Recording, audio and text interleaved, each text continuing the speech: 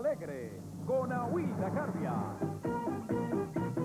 Bienvenidos sean todos. Bizcocho. Encantados de saludarlos. Y Juan Manuel Lebrón.